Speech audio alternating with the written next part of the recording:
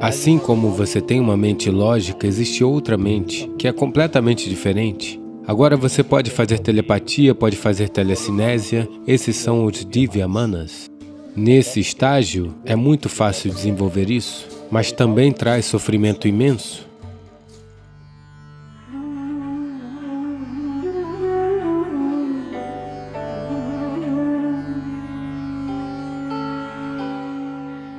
Veja, o corpo, ou isso que você chama de você mesmo, evolui em muitos estágios diferentes.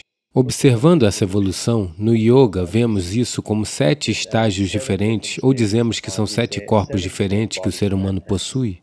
Sete corpos diferentes não significa necessariamente que sejam efetivamente sete corpos diferentes. Esses são sete estágios diferentes nos quais alguém cresce. De 0 a 7 até os 7 anos de idade, somente o corpo físico cresce. Esse é o Stol Sharir, ou o corpo grosseiro.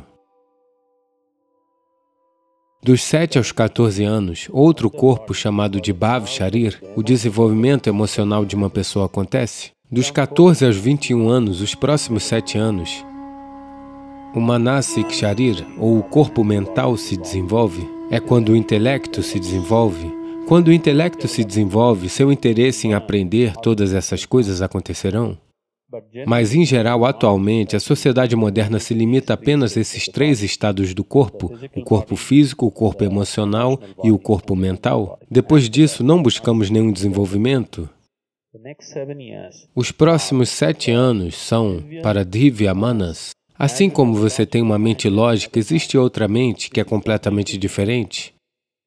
No yoga, evitamos esse quarto nível de desenvolvimento porque, uma vez que alguém entra nesse nível, ela se torna milagrosa. Muitos, muitos milagres começam a acontecer à sua volta. O que está lá pode estar aqui, o que está aqui pode estar lá. Você sabe o que está acontecendo lá, esse tipo de coisa. No yoga, nós fechamos essa rota, não permitimos que as pessoas entrem em Divyamanas porque ainda é mente, pode ser? Divya significa, é uma mente grandiosa, sabe? A mente, numa escala muito maior do que aquela que conhecemos como mente, uma vez que você entra nessa mente, você sabe tudo, sabe? Não tudo, mas comparado a outras pessoas, você parece um milagre.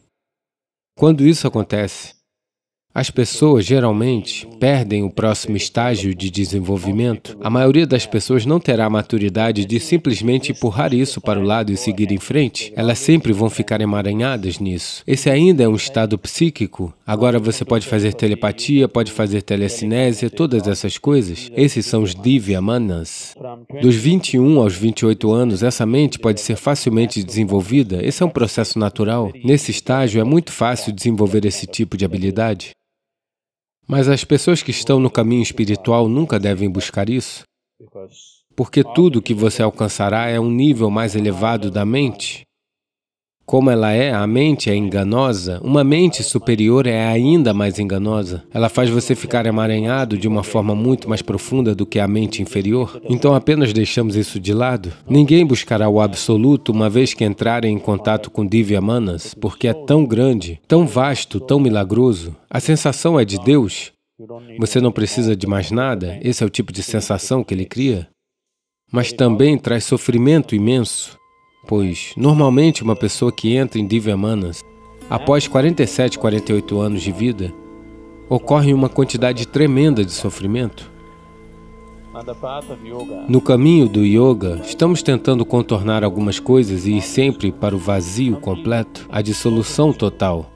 Porque até lá o trabalho não está concluído. Quando abordamos a espiritualidade como uma ciência, então não estamos procurando por entretenimento no caminho, Quaisquer pequenas, pequenas coisas que aconteçam, estamos apenas olhando para elas como um trampolim em direção a algo maior que pode acontecer? Nunca estamos olhando para elas como um grande entretenimento e nos encantando com isso? Isso é muito, muito importante. Algumas pessoas se sentem assim na meditação, ficam empolgadas e você vê que em dois meses elas voltam a se sentir mal, sabe? Isso está acontecendo repetidamente porque você fica entretido. Não se entretenha com o que está acontecendo, seja o que for que esteja acontecendo. Nosso objetivo é apenas atingir a meta. Uma vez que a pessoa tenha escolhido o caminho espiritual, a maneira como ela se senta, a maneira como ela se levanta, a maneira como ela come, a maneira como ela fala, a maneira como ela pensa a maneira como ela vive, tudo tem que ser espiritual. Portanto, todos os aspectos de nossa vida devem se tornar yoga, cada aspecto da vida deve se tornar um processo de crescimento.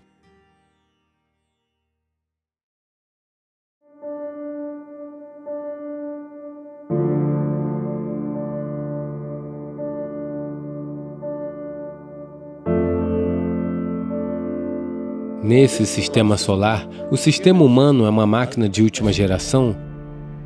114 chakras no sistema, você pode movê-los? Se você os organizar de uma certa maneira, você se tornará uma entidade divina plena. Não permitimos que pessoas entrem em Divya Manas. Uma vez que você entra nessa mente, você sabe tudo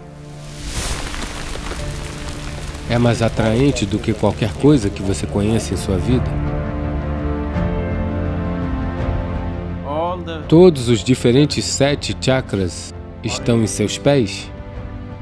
Há toda uma tecnologia sobre como se deve segurar os pés?